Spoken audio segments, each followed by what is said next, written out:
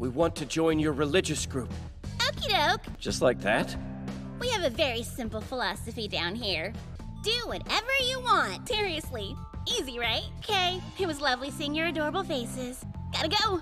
See ya! That's nothing like what I was expecting. My body feels so hot! Hi, Yukito. Let's get naughty, Yukito. According to the teachings of Dakini, it's our duty as followers to do what we want. How has she already been converted?